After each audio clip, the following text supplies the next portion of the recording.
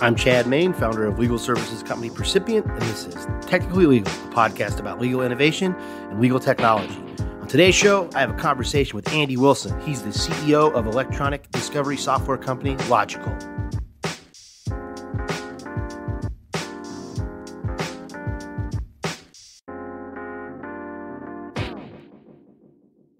I'm pretty sure most listeners of this podcast know what electronic discovery or e discovery software is. If you don't, it's software that lets you easily search and review electronic documents like email messages, word processing documents, and other common everyday file types. It's called e discovery because it's often used to review data during the discovery phase of litigation.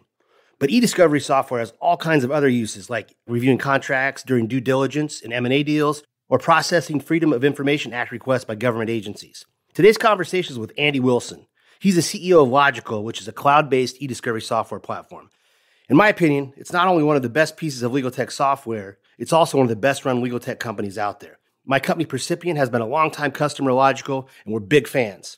Logikcull itself just turned 10 years old at the beginning of this month. But Andy's been involved in e-discovery well before it was even a thing. Fresh out of college with a computer science degree in hand, a buddy helped Andy get a job at a printing company with the promise that there was a technology component to the printing company. What Andy would later find out is what the printing company was doing was printing out email messages so they could be used in a legal matter.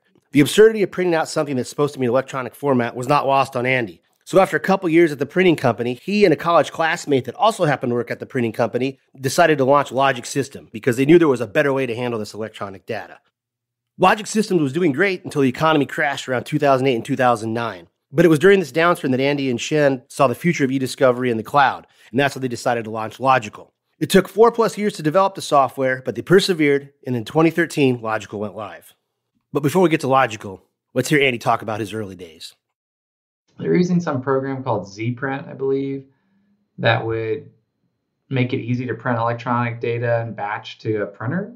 And then they they actually did they hired my co-founder actually to build an FTP applet, a Java applet, uh, which really don't exist anymore, but so that their customers could FTP them data to print. So that they print. Exactly. Oh, yeah. I mean, you can't make this stuff up. It's like, are you serious? Because they were driving back and forth or, or taking shipments of CDs and hard drives and thumb drives and stuff. And so the eureka moment was, what if they could digitally send it to us? So is that where you met your co-founder, or had you known him prior? No, I met him at uh, Virginia Tech. Okay, so yeah. did you get in the job, or did you know the same same buddy that? No, it was actually totally random. Wow, that's cool. Yeah, totally random. So you worked at the print shop for a while, but then you and Shen launched Logik Systems after yes. the, the, the, working at the print shop. And instead of you're, you're still dealing with email, you're processing them, but you're keeping them digital, right? Yeah. So what was that process like? Like, what were you doing? Why did they need you to do it th- at that point? So we had this idea in like 2003 or something. You know, we, when we were working at this company and we are talking about like where this future is going to go, and we wanted to, um, you know, build a product for that future. We realized the future is going to be all digital. Like this is insane. You know, you look at these things and you're like, this doesn't make any sense. This won't continue. And so, what would that look like? And so, we, the idea was really simple. It's like, okay, let's build a program that can process large amounts of data, index it, organize it, make it all searchable, and then just package it up and send it back to the customer so that they could have an electronic copy before they print it. How is it searchable? What was the functionality? There was no functionality. it was just making a database. You know, I think about like making an access database. That's kind of what it was.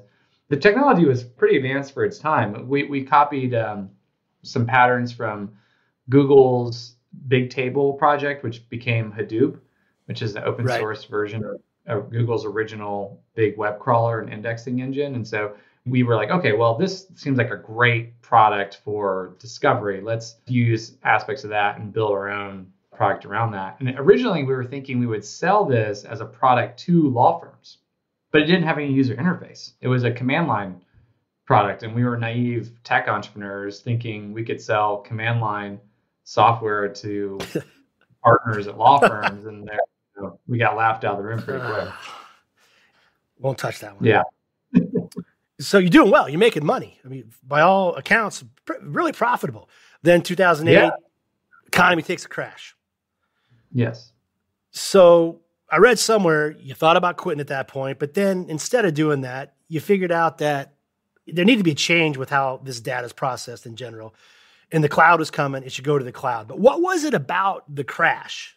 I mean, you're you're on the brink of quitting, but instead of doing that, you do a whole not 180 per se, but you, you kind of change your model a little bit and try to do something for the future. What was it about the economic environment that that gave you this idea?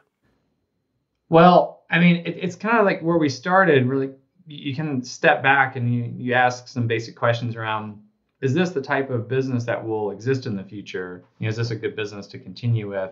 Because we want to build something, you know, that we're really proud of and you know that we can do for a long time. And we just came to the realization that like there's just no way that people are going to continue to do this. Like we were working on. It's so interesting because today, like Logikcull is not known for this, and that's on purpose but we were working on some of the largest litigation second request projects ever at the time. We were the guys processing the data, you know, the guys behind the curtain, so to speak. We just came to the realization that this is too complex, it's too expensive, it's too slow. It makes no sense that we're doing, and we look at our own process, we're like 90 plus percent of what we're doing is automated, you know, and there's a lot of steps. And it's like, well, what, if that's the case, like, can it get to 100% automation? And so we did this whole thought, you know, experiment to see what that would look like. And we came away with like, wow, it really can. It's just going to take a lot of work because what we what we have to do is we've got to we've got to build a self-service interface, which we didn't have an interface, right? It was all command line stuff. And it has to be dead simple because the market that we realized would be a good one for us to go after is not the large litigation market. It was the larger part of the pie. If you think about the overall like matters that have discovery type of use cases, the vast majority of them, 99% plus, are not these big bet the farm, you know, litigation second request. They're not. They're run of the mill, and there's going to be more of them. So our guess was, you know, okay, well, data volume is going to go up and to the right. That's going to create more opportunities for discovery software, but it has to be designed in a certain way so that non-experts can use it. And that's where we came up with the mission of democratizing discovery ultimately you change your name to Logikcull. Yeah. Your formal launch is in 2013. So it's taken you four years. I think 2009 is when you really got serious about creating the product. What were you doing for yeah. those four years? I mean, obviously you're developing the product, but what took up the time? What were the steps? Not dying. not dying. Trying not to die. Uh, you know, cash is the lifeblood of any company, and we had millions of dollars in cash that was just sitting on the sidelines that we we put into the company to hire engineers and this was pre-cloud right? So we had to build our own cloud from scratch. We bought servers from scratch like parts and built servers. We had a direct fiber line that we had to dig up on k street in washington d.c to uh, connect with our data center in ashburn virginia. So this is all pre-aws becoming the default for any kind of cloud company. We had to basically build our own cloud. And you know, I mean, that stuff takes time, right? Like building, we basically built a mini AWS. We built a dynamic processing cluster. We built an entire Elastic storage um, cluster, and um, that was very expensive, cost millions of dollars, and took longer than it, than it should. But so we're building that, and at the same time, we're running the services business because we got to fund it. You know, we're not, we didn't raise money it was a terrible time to be doing any of that period, right? So we had to to make ends meet by selling more and more, you know, consulting work and contracting work and we got really lucky at times like we got lucky with the Bank of America countrywide loan crisis that we made uh, enough money to keep the the company going for another 6 months. So yeah, we were seesawing back and forth. So you bring up a good point there. You were a services business. You're processing data, mm-hmm. dealing with big pieces of litigation, but this has been what I gather as a long-time Logikcull customer and just knowing your backstory and working with all you for so long. Correct me if I'm wrong, but I think you have purposely set out to create a SaaS-based tech company versus a legal tech company. Um, Correct. Because if you compare Logikcull to some other, it doesn't even have to be e-discovery software, legal tech software out there. A lot of it still has this feel of it's a legal related business first, tech second. Yes if and when did you make that decision? We're going to be a tech company with a focus on legal versus a legal company with a little bit of tech. Uh, from the very early days.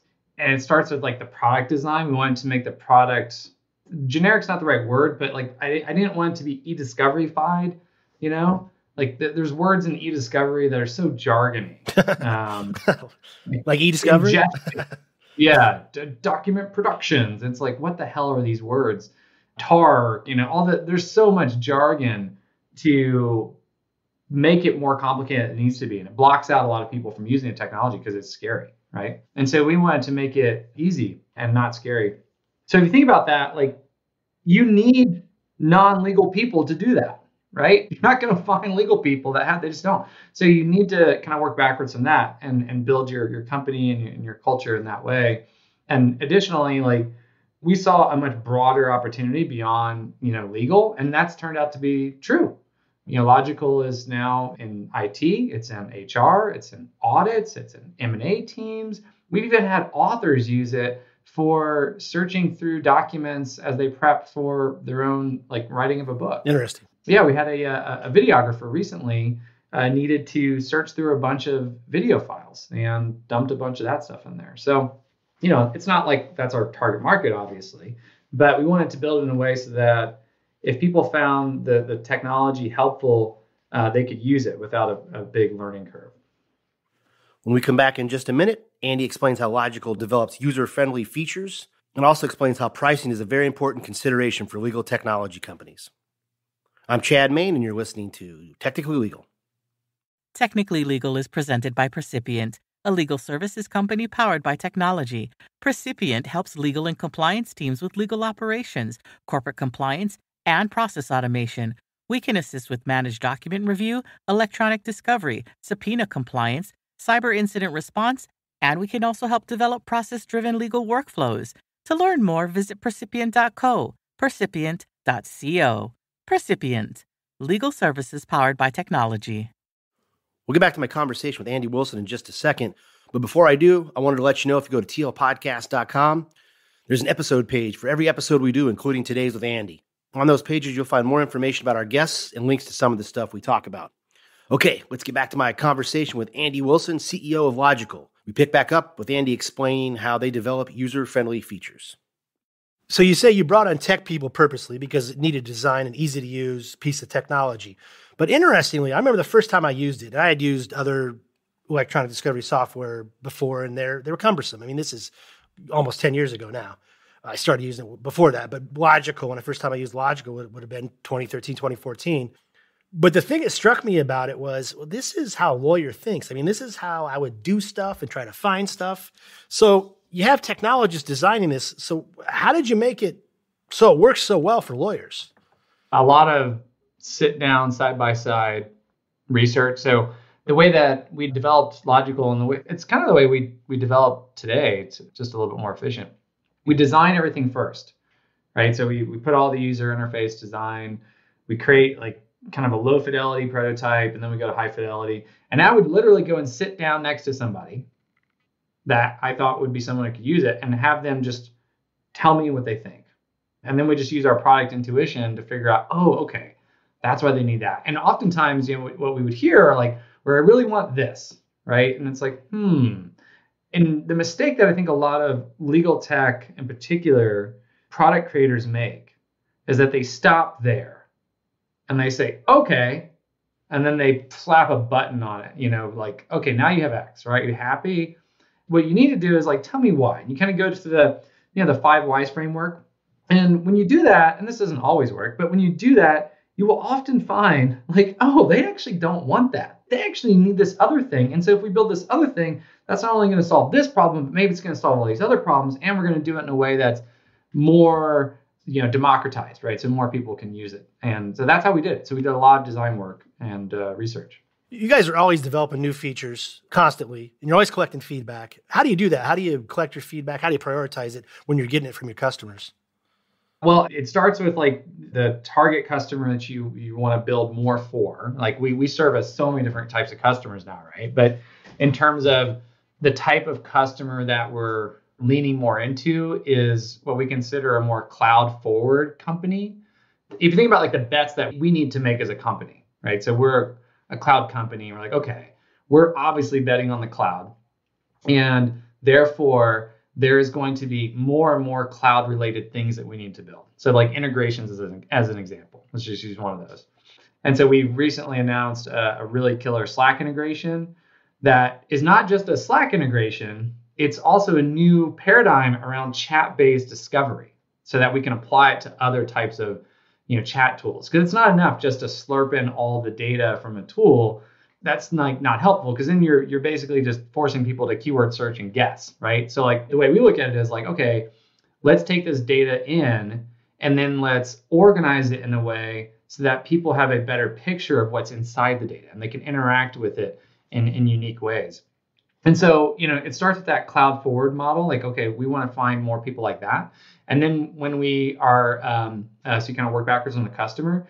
And then when we're thinking about ideas, we will create a picture, you know, like a design, and then we'll just share it with them either through a prototype link on Figma or like a screenshot over email. And we have a whole list of people that we share that out with. That's a usually a good starting point. You get asynchronously, you know, because synchronous communication for research can be really helpful but in the early days, that asynchronous stuff is is oftentimes the uh, the fastest and best approach to know if we're on the right track. While we're on the subject for developing tech, primarily for lawyers, I've read or heard you say this a couple times. You say that as an entrepreneur, you should consider creating a legal tech company because legal is generally behind the curve. Yeah. And so there's a lot of opportunity. I understand that facially. I totally understand that. But you've already alluded to a couple things here that sometimes it's not easy to sell change in tech to lawyers. So, how do you hold this view? You talked about selling a command line product to lawyers. That, that, that ain't easy. So, you see the opportunity, but you know there's the selling part might be hard. So, how do you reconcile those two in your mind? I actually recently told this to an entrepreneur who's uh, trying to crack into the legal space. I phrase this in a question. I say, What percentage of your time when you're thinking about your product is devoted to pricing and packaging. And I almost always know what the answer is going to be. It's going to be, oh, you know, just a little bit. And I was like, no, give me a percentage. Like if you were going to spend a thousand hours on developing a product, what percentage of those thousand hours is going to be spent understanding the business model, the pricing and the packaging that is going to work so that you can unlock uh, true product market fit? And it's almost always single digits, right? Right of that. And that, I think, in legal in particular, is probably the biggest mistake. It's a mistake that all entrepreneurs make. They don't think about the price to value, they don't think about how somebody's going to buy, what their willingness to pay is. They just don't think about that because they're obsessed with pixels and not pricing, right? Because that's what they love to do. And that, that makes total sense. I did the same thing. And that's where this kind of advice is coming from. And so the way I think to unlock a lot of that product value and innovation inside of legal, which there is, is you need to understand what that price is going to be so that the customer idea if you're selling to law firms as an example uh, the way to think about with law firms is like could you price your product in a way where they could pass it on as a cost to their client? Because that's how it mainly works. Like almost all the money that's that's spent in legal is passed through from law firm to client matter right and if you can do that, that's great. If you can't do that, then you need to really figure out is your product going to help you make the law firm more money because that's their profit centers, you know, that's what they're trying to do is it can help them capture more time, those kinds of things. And you can price accordingly. For legal in particular, to crack the code there, you got to align incentives and incentives and pricing in particular. So if you can if you can do that, then you can really figure out like what are the product components of that to create a great product experience. But it basically starts with that pricing and packaging and incentive alignment. And that kind of goes hand in hand with something you said. You did a presentation at uh, SaaStr, and you said you should sell the way your customer wants to buy. Yes, that's another way of saying that. Yeah. And so, how does Logikcull do that? How do you sell the way your customer wants to buy? This took some time to unlock, but I mean, what we realized with Logikcull is that we're an events driven business right? There is an event. They need software like Logikcull to help solve the event. I've used the word like, okay, people are kind of on fire and we're selling buckets of water at times, right? But you've got to sell it in the right way so they don't feel like they're, you know, they're paying too much. And the way that we've done this is because it's event, and it's not always consistent event. You might not have a litigation investigation, a public records request, or whatever every single day or every month. You might have one a year. Why would you need a subscription for that? You know, that doesn't really make a lot of sense. So we built a bimodal business model so that customers can buy buy the drink, pay as you go if they want, or they can buy a subscription if they have two things. They have more consistent need and they want more valuable features because we you know the subscription customers are ones that we look at and say okay these are our customers that are probably going to be with us for 10 plus years. And so we want to kind of give back to them in a different way. Obviously we support our customers the same way like we give them all world class support and you know a good price and you know so on and so forth. Uh, but the subscription customers get better unit economics better pricing better feature functionality and so you have the choice you can go down you know pay by the drink or you can go down by by subscriptions that's how we do it another thing you said too in that presentation was when you're figuring out your pricing part of the consideration should be what value you are bringing or giving to your customer this is something i've struggled with from day one because when you're trying to explain how tech provides value to legal, it ain't always easy. It's not always easy. It's some hard to it's, it's hard to articulate, but it is there. I mean, it saves hours and hours and thousands and millions of dollars. So, how have you found the best way to articulate the value using Logikcull brings versus the old school way of handling e-discovery? However, however it is your customer might have done it prior.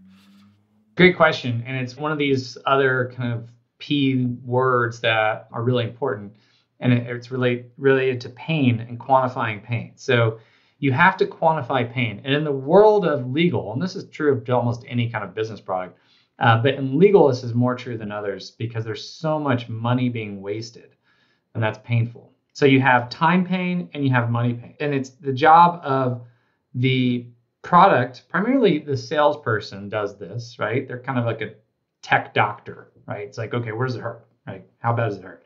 And then you quantify that. And the way that we do that is is pretty straightforward because Logikcull is in many ways it's like a robot. You previously would either um, your previous state was either outsourcing to e-discovery vendors, right?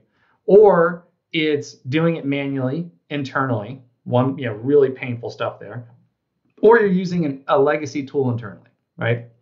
The middle one is what we call non-consumption. Clayton Christensen coined this term, non-consumption. It's the biggest competitor of any technology company. It means I'm doing this job. I have this job to be done, but I am not going to consume the right software to get this job done. And the only way you can get those people off that status quo line is to have them realize what that's costing them, right? And so you have to quantify that pain. And so the way to quantify that pain, like in our world, it's pretty straightforward. It's like, okay, well, how long did it take you to do X? How many times per week or per month or per year do you have to do X? Okay, boom. Now you've got some simple algebra that you can work with, right? That's time savings. And you can apply that everywhere. Like, okay, what about Y? What about Z? You know, t- walk me through that. And then you kind of summarize, you're like, holy crap, you're spending X thousands of hours doing this per year. Did you know that? And they're like, holy shit, I didn't know that. You know? And so now you've got them off the status quo line because they're realizing, oh my God, if I continue this way, it's going to get even worse. Right. Right. And that's the right mindset to be because you have to show them the better way. It's like, look, if you could do it a better way using Logikcull, like, how much time do you think you could save? Like, here's what our customers typically do. And then you have a delta so that now you have quantified pain and then you have potential value to gain. And then you can verify that through a simple experiment, which in SaaS world is like a free trial, or you know, in our market, you can just put a credit card in and you know try it out for real uh, on a pay by the drink, and if it works great, sweet. You know, you've got an easy ROI. The cost part of it can be more complicated, but in legal, there's two ways that you save money in legal in our world, and it's how much are you spending with e-discovery vendors, and so you just kind of go through that. Like our customers will give us uh, redacted invoices you know, where we're like, oh, holy moly, like you're spending X per matter. The Bates stamp. Per- the, cla- the classic charge is the charge to Bates stamp. yeah, exactly. It still happens. yeah, it it's, it's it is. We just got one uh, this Uh, last week's Tuesday. They sent us invoices from e-discovery vendor for five matters, They spent eight hundred and fifty thousand dollars on five matters, and to put those into Logikcull, I mean, we're talking like a ninety-eight percent cost reduction. Like this is so you're the, the, the invoice you're talking about there was just the actual storage and the process and all. It wasn't even the services part, the actual labor, human labor involved.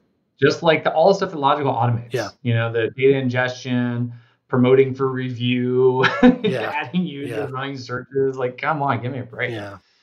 And then the legal fees can be one where you can tap into. That's a little bit more complicated, but it's really around this kind of call the noise, find the signal. Like oftentimes what we're seeing is that non-sophisticated legal teams that maybe don't have the right incentives aligned are reviewing way more data than they should. Absolutely. And- Without question. We find that every day. Absolutely. Like in your business, like that is huge because you're using modern technology to cull a lot of data Yep. that should be culled before review. And that is immensely valuable because if you think about the average doctor review, like what's the cost? That's an easy math. It's like how much are you spending per hour and what's your review rate per hour? And then boom, Right. you know, three hundred dollars an hour divided by fifty docs an hour, and now you have a six dollar hour, six dollar per doc rate. And so you can apply that number times the amount of documents that you can pre-cull, and there's your savings. Yeah. You know? But again, it's hard sometimes to, even when you quantify, it's hard to explain it. You know, it's hard to actually explain the value. But yeah. So you you um been in business for almost ten years. So for the longest time, you were bootstrapped. Correct me if I'm wrong. You basically have raised funds twice. Is that right? Three times. Okay, three times. But there was a maybe I don't know. It's probably about four years ago now. You raised I think about twenty five million bucks. Mm-hmm. But at the time, you really didn't need the money, but you still decided to take it. So I got two questions. I understand the bootstrapping model. It's control. You know, it's you can you can grow your business the way you want to. But why did you stick to bootstrapping so long? Because it's, very hard to do in SaaS. And then when you finally took the money, even though you didn't 100% need it, you still took it. How did that work? Why did you wait so long? And then what was it that pushed you over to to take the check at that point? Well, remember, we came up with the idea for Logikcull in the Great Recession. And so there wasn't a lot of funding options for us. We didn't have a product. We were known as a services company. I did meet with investors at that time, but we didn't have any proof points. Right. Way too risky. You'd have to just bet on us as humans. And we didn't need it, you know? We did want it. We did want it because we knew with high confidence that if we were to bring on additional capital at a, at a good price, you know, healthy dilution, et cetera, that it would actually help us focus and accelerate because we were seesawing services and software, right? And so, like, if we could just focus on one thing and not two, well, it's basic logic, like, you're going to accelerate into that one thing. That did end up being true when we did raise uh, our first round of funding, but we needed to have some we needed some points on the board because we're unproven entrepreneurs. We're in DC. It's not really known as a tech hub. There was e-discovery out there at that point, and you're doing something completely different. Yeah, The interface is different. The way it's handled is different. It's self-serve. It's drag and drop. So correct. when you say you have no points to offer them, so data points, that you, you were literally starting from scratch. Yes, exactly. And we, uh, I mean, even to this day, people laugh us out of the room. You know, they think it's ridiculous what we're doing. Even, especially some of the larger competitors in the space, they think it's not a big market to go after, like what we're doing. And self-service is a naive idea for for discovery. It's too complicated. I just got some of this recently because we just announced at the launch event Logikcull AI with suggested tags, which I think you've seen a little bit of that and some of the e-discovery experts you know are like rolling their eyes like never not not possible you know? It's like okay. So we had to get some points on the board because of our position. And um, once we had points on the board it was fairly easy. We had you know raving customers and revenue was growing very very quickly. You know 300% or more year over year big upsell opportunities landing some key logos all without really a sales force and a single business to focus on. And so we raised our first round of funding in 2015, I believe, two years after launching the product. So we had two years of data, over a million dollars in annual recurring revenue at that time, growing rapidly. And this day, it's kind of funny. I was looking back at some of the data. I'm like, damn, if four months ago, before the market started to correct, if we were to fast forward that company, like Logikcull then to four months ago, we would have been able to raise a round of funding at like hundreds of millions of dollars pre-money valuation, yeah. like bananas. Our but our first round of funding, the valuation was like 15 million bucks. Right. Uh, which I thought was like, oh wow, that's awesome. Like that's a lot of money. Well, to your point too, you just pointed out that for a long time your sales force wasn't huge, and still I don't think it's huge, huge. You rely on a lot of inbound sales, but yes, I think part of the reason is this: you by far have some of the top-notch customer service out there. For, I think for pretty much any tech company, but definitely we'll just stick to legal tech here. I can attest to it, and that goes a long way to selling products without a salesperson being involved. I assume early on you made a conscious decision. We are going to have the best customer support that we can possibly have, right? That's right. And what was it that you put in motion at that way back 10 years ago to make sure that happened? And it did in fact happen. It did happen. What did you do? Well, I mean, first of all, like SaaS is an acronym and it stands for software as a service. It's not just software. And so, you know, we we take that service component as an opportunity to enhance the software in a, variety of ways. You can never really fully remove the human element. And so it enhances the software in a variety of ways because it helps people do their jobs, right? And the team is also funneling information to us that they're like um, bat signals or like red alerts. It's like, oh, oh, this is broken. You know, this is not a good user experience. This is happening too much. We need to fix that. And so we use it as a feedback channel to improve the product and that's turned out to be great. And that, and that team works backwards from a really simple question. We we asked this uh, all the teams at Logikcull. It's like, what would be a world class experience? Like, what's a 10 out of 10, 11 out of 10, and work towards that. Right? You'll never really get there, but like work towards that and operate on a um, a simple levels of, of value fundamentals. You know, like we have five core values. Like we use those as decision making tools every single day and it just works out. It's not that complicated. And it's shocking that few people actually do that. In the legal space in particular, I think it's probably even more important. And that's because people that are using legal tech software or t- technology that's specifically built for legal tech, they're not used to a lot of advanced business software. That's just not been their life. You know, they, they're using some really crappy tool that was built in the 1980s and that's still in their law firm, you know, or in-house counsel, or they're doing something manually. And you need a, a helping hand. And so we hire people, I think you're referencing mainly the in-app chat support. We also have like e-discovery solutions architects, people that know all the products and, and processes. But that that internal team is primarily staffed with former e-discovery paralegals, you know, that used to work at like large law firms, and uh, they get it right? And so you're basically getting like this highly experienced e-discovery paralegal that's on tap as part of your software subscription. So whenever you have a question, you can chat with them, and it doesn't, it doesn't cost you anything. So you just mentioned that when you're dealing with legal tech, a lot of times you have users that haven't necessarily used tech a bunch before, so you got to kind of keep that in mind. But I also heard you say at some point, I think it was a couple years ago, the number may have changed, but about 40% of Logikcull's customers are not law firms, or in-house legal departments. And of those, a lot of them are cutting edge. And so you're hearing what they want, and I think this was the quote I pulled out. A lot of them want a modern approach to doing business, plain and simple. Yeah. What specifically are they looking for? The modern approach. What is an in-house legal team? We'll stick to e-discovery here, obviously, because we're talking Logikcull. What are they wanting? What are they telling you? Number one, it's it's ease of use. Like it's kind of a it's an easy one, but if you unpack it, there's a lot of deep reasoning why that is. And I think the the number one issue as it relates to ease of use is resource constraints. So if you think about the the in-house legal teams, they get less than 1% of revenue for headcount. Right. Compare that to R&D at a tech company. It's going to be 20, 30, 40%. We spend 40% of revenue on on research and development or sales. Sales can sometimes be 50% or more, right? And legal is a cost center.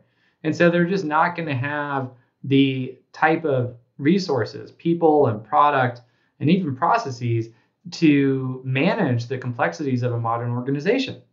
You know, like in-house legal, they got fires constantly. It's way different than law firms because they not only have to manage like the legal risks, the disputes, the investigations, but they're also dealing with all kinds of other things and business contracts. I mean, it's all of they're kind of they're the glue that holds a lot of the organization together. And it's a really important function. So if you think about that, they're moving around constantly. They get all these different priorities that they're they're restacking. The last thing that they want or need is some 146 page user manual telling them how to upload, you know, a PST file. Like it's just that's bananas, right? And it's not going to work. And so like that ease of use is paramount to their success of using the products in the first place. The other thing that kind of goes into that is more of a just their experience with other products that are non-legal are probably such that at least if it's a modern SaaS product, that it's probably more consumer grades. And so they've pattern matched. They're like, why isn't this like that? Yeah, I, that know? that has been the mystery to me since I got into legal tech. Is you know it's, it's changing now. It's changing now, but for so long, the legal tech user experience has been way different than the consumer UX, and we're all using these products every day in our in our in our non-work lives. So, yeah, and to your other your earlier question, like that's why like you've got to build your company or product intentionally so that you can attract people outside of the legal ecosystem. Right. That's where you're going to get those people that have that experience. Right. It won't work otherwise, most likely. So one of the stated goals has been from the beginning of the company is you, Logikcull wants to democratize e-discovery. Mm-hmm. In a perfect world, what does a democratic e-discovery process look like? well, no user interface in Logikcull and I, will I'll explain what I mean by that. So if you think of like dis- discovery is just this uh, sharing of information between parties, right? And discovery software exists as a net to filter to make sure that you're sharing the right stuff and not the wrong stuff. That's kind of the e-discovery ecosystem, right? So what happens when the technology gets so advanced that a lot of that analysis is done faster and a higher level of accuracy, that filtering analysis, right? That's done by machines. And not only that, but it's also shared in a higher accuracy with the requesting party. So imagine a scenario, uh, and I'll use a public records example. Let's say a journalist at the New York Times wants information from the city of New York as it relates to whatever they're writing about, right? And they file this request. And that request goes into some machine and reads it and says, oh, they need this, this, and that, right? And so they, imagine like a librarian going down into the halls of the library and pulling out all the different books, but it's a robot. And so you're going through that, and then you're sifting through all the pages and saying, okay, well, they don't need this. Oh, this needs to be redacted. Uh, no, this doesn't need to be there. And you've packaged it all up. You've alerted some other human that says, hey, this re- request, this is what came in, this is the uh, the result, this is the percentage of confidence that we think is correct, this is how, how much information was redacted. Do you want to review it before it goes out, or you know, click this button and ship it, right?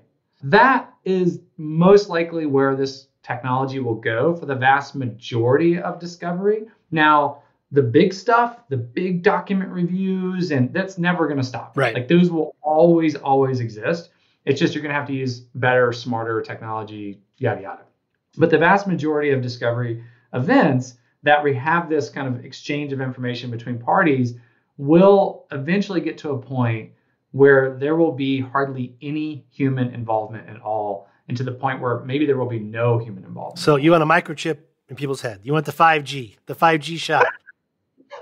no, no, no. It's just a job to be done. It's like, okay, these are jobs to be done. Like, this is shit we have to do. You know, it's like, okay, this is a task. You know, so like if it if the job can be done by a computer faster, cheaper, smarter, then it will be. Like it's just that, that is what's going to happen. And discovery is a digital game of logistics. You're just shipping bytes, you know, different parts of the world. It's just done in an insanely inefficient manner today. So you reduce that friction, you add some intelligence, you're naturally going to increase velocity. And, uh, and I think overall that's that's a really good thing uh, for for society. Andy, appreciate your time today. People want to learn more about you, get in touch with you, learn more about Logikcull. Where do you want to send them? Logikcull.com, spelled L O G I K C U L L.com.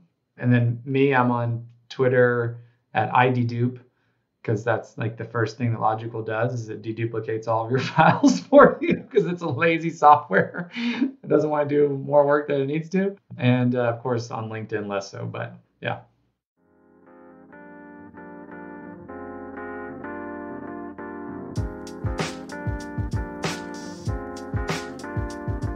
Well, that's it for another episode of Technically Legal. As always, we really appreciate you listening. If you want to subscribe, you can catch us on most major podcasting platforms like Stitcher, Google, Apple, Spotify, etc., etc. If you like us enough, I hope you leave us a nice review. If you want to get a hold of me, you can email me at cmain at percipient.co. That's C M A I N at percipient.co. Until next time, thanks for listening. This has been another episode of Technically Legal.